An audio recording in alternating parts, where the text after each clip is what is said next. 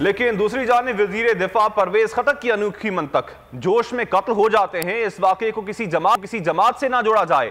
लोगों को समझाएँ कि इसका मतलब ये नहीं कि पाकिस्तान तबाही की तरफ़ जा रहा है। वज़ीर इतलात फवाद चौधरी कहते हैं, श्रीलंकन शहरी के कत्ल पर कौम का सर शर्म से झुक गया है।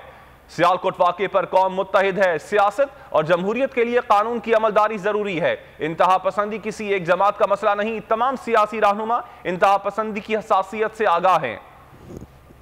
ज़्यादा जोश में आ जाते हैं, जज्बे में को काम कर लेते हैं, जज्बे में आ गए काम हो गया अचानक तो इसका यह मतलब नहीं है कि सब कुछ बिगड़ गया। प्लीज़ आप ज़रा लोगों को भी समझाएँ कि नौजवान है, जज्बे में आते दिन में, मैं भी जज्बे में आऊँगा, गलत काम कर सकता हूँ, लेकिन ये मकसद नहीं है कि पाकिस्तान जो है तबाही की तरफ़ जा रहा है।